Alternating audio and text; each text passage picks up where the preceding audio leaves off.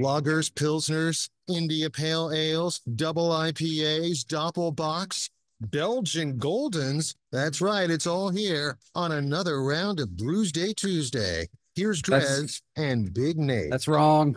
None of it's here. Damn it, Matt. Just some stupid, hard to open. So, all right. So now I actually got to try Yeah, and open this it's damn thing. a pain. Here, well, we got this bar key. Isn't aren't isn't this actually made Yes. for popping tops? I don't like to surrender. There we go. I'm like a caveman. I'll chew it open before I do that. This is what you should be using because don't you you struggle with popping tops anyways, don't you? I do. I mean, I keep. I, I don't know how everyone else does it. I keep my nails like so short. I j- well, this is because you chew them. Yeah. I just clipped my nails last night, so I I I was struggling with that. But usually my nails do grow out and they get there. So so we're drinking Buzz Balls, which are I was gonna say all the rage with kids these days, but I have no idea. I, I don't hang out with kids. Try not to hang out with kids. Yeah, so I'm not too sure, but uh, I guess they're a thing. And at a whopping 15% ABV, which is, you know, nothing to, to s- uh, you know, really shy at, but uh, 187 milliliters, which we think is funny. I think it's just because it's such a stupid container. We did do the math 6.3. eh, eh, Neither of those are going to look good on a label. 187, 6.3. So they're just they Six went with point the three milliliters. ounces would save them money in ink. Slightly, yeah. I'm gonna re redo their whole operation for them. So I just popped the Buzz Balls Chiller Peach Chiller. So this is orange wine, it says, with orange juice, natural flavors, and certified color. So let me read that again. Damn certified color again. Well, this is the peach chiller. Orange. Orange wine with orange juice, natural flavors, and certified color. It's Concerning that peach wasn't once directly mentioned. Honestly, Is it like that thing where pumpkin pie filling isn't made out of pumpkin? Yeah, well, now that I'm reading the fine print, and orange sounds better to me than peach. So maybe this is going to be better than I expected. We'll see. I got the uh, sour apple chiller, orange wine with apple and lemon juices and natural flavors. And instead of using a comma, they used an ampersand between apple and lemon juices. Artificially colored with FD and C yellow 5 and blue number 1. Also 15%. So I just realized I forgot to take a photo of the last one, but these actually they do have. They're pretty colorful. My, my last one was green and lime, and the strawberry was nice and red. The peach one looks pretty peachy, like kind of a, a light orange, if you will. I haven't been able to check Untappd because they're having an issue. They say it's not you, it's us. Sit back and enjoy your beer. Ah, I wish while we fix our issue. So I don't know if these are on Untappd or not. I purchased them without having that forethought. Now, Four Locos, I did look and make sure that they were on there, but these, I'm not so. Sh- I'm not so sure. And if I had to guess, probably not. That's what made me think about it, was that it says wine. And yeah, that's well, that's an interesting color with your. That's green Toxic apple. Avenger status. Hmm. This can't be good for me. So I do want to. Oh, oh. Did we figure out what the sediment was? Was it? Was that this one? Yeah. Okay. Well, no, it's not. I don't know if there's sediment. Maybe I shook it up enough that I didn't notice that, but it is a bit peachy. Yeah, this is that must be the natural flavors. I'm using the air quotes if you're watching the Facebook Live or the YouTube, but mm, okay. Yeah, the Limerito is much better. This is not going to get as high a score, but I do want to get a quick uh, shameless plug in for the hash. We're doing another hash this weekend.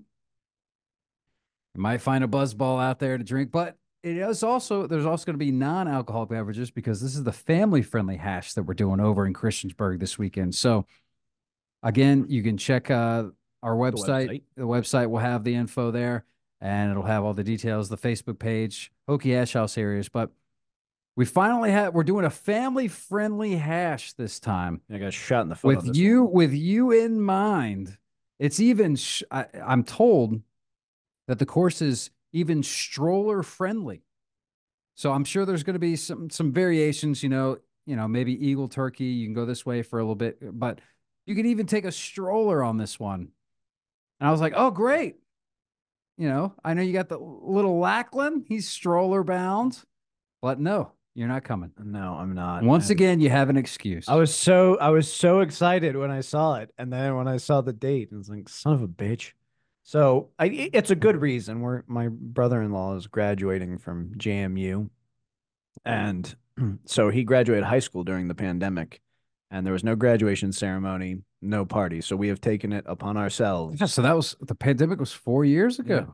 So we've taken Wow. it upon ourselves to make sure he has the best possible graduation ever. So it's a good reason. We've got a noble cause, but I am kind of bummed that we're gonna miss the family. Yeah, that's fair. That's fair. Because, I mean, now that I'm thinking about it, I feel like high school graduation, party wise, was a bigger deal than college graduation. So yeah, that that really does suck, man. To be a senior, I, I said that from the get go. To be a senior in high school in 2020 would have been probably, I mean, short of you know somebody that actually got it and died, those old people or whatever, but that would have that would have been Yeah. the suckiest situation for that to be your senior year and have all of that just ruined. Yeah, it, it, it, it it's something he doesn't talk about it, but you know, and you could always kind of tell that it like upset him because for every other one of their children who had their graduation ceremony, they had a big party for all of them. Yeah, of course. So we we, we really got to do it up big. And uh I, I keep throughout the like process of planning it, I keep getting asked questions like, uh, should we have this? Hell yeah. Oh, dude. The answer is always yes. Like I I can't think of a reason not to. Well, here's the Let's thing. get a moon bounce. So as fun as or as cool as you know it is to graduate high school and have a big party, to have a huge party for graduating college is got an even better element. Case in point, how many buzz Oh, we're gonna get balls are you gonna balls. bring to the party? I, I actually think he does like the buzz balls. No, are you serious? He's in college. But he's I know his go-to is vodka. Okay. Well, yeah. Is that what you do? You get a buzz ball and then you cut it with you add vodka Yes, to it. You get it up to the uh, 12 ounces. There you go. That's how Ooh. you no. Ooh. And it could work because this is very, very flavorful. Uh, unfortunately, peach is not a good flavor for a buzz This one's ball. actually really not. No No, bland. it's very bland. The sour apple. You I was kind of expecting like you're the- telling me you can barely taste it? yeah, Wow. Mm.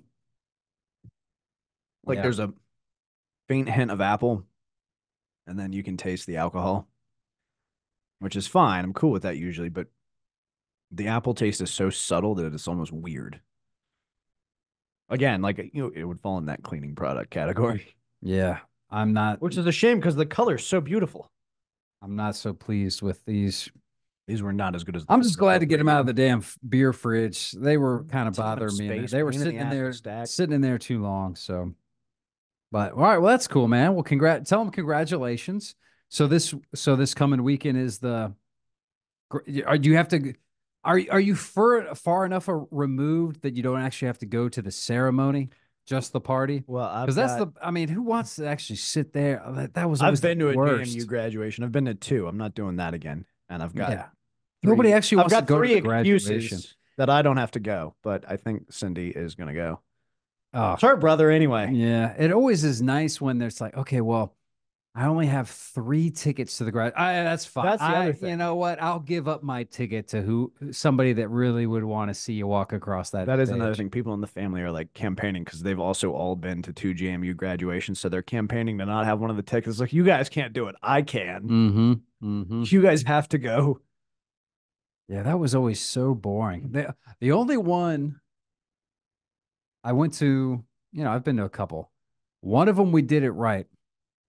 It was uh, a friend of ours graduating VCU, and they had it in their Coliseum, so everybody was there. What we did was we we dressed up. You know, it was a monu- monumentous occasion.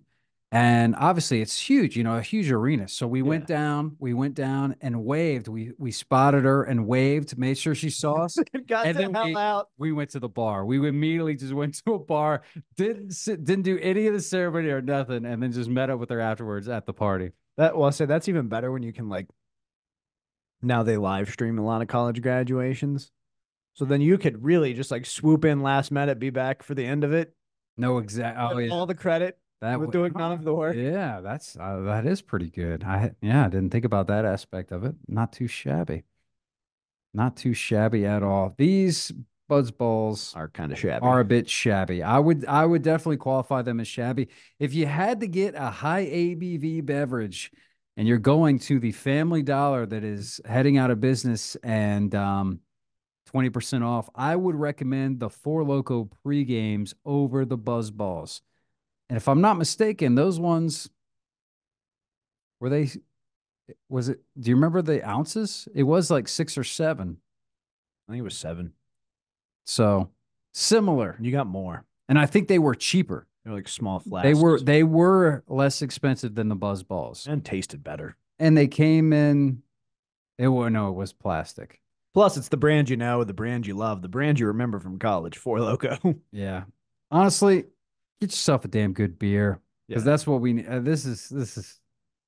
We're punishing ourselves, really. Yeah, I don't know why I did this. I guess I was just figured, hey, there's four flavors, let's do it. But yeah, I do not recommend these Buzz Balls. The peach one is going to get a much lesser score than me. I don't even think it's a three. I'm going to give this one down. This is like a two and a half. This is not very enjoyable whatsoever. I would not recommend this. I too, same boat, would not. There's a uh, quote on the side. It says, "Have a ball!" Two exclamation points. But I, I would highly recommend against having a ball. Having now had Well, we've had two, maybe just one. Maybe that's Yeah. the problem. We had yeah, that's one. right, singular. Should have quit while we were That's ahead. a good point.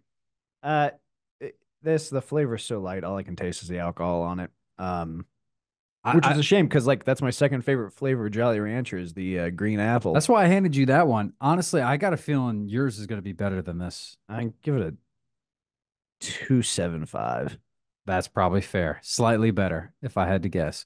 So, as I said, we should probably get back to it. However, we may have a special guest next Mm. week.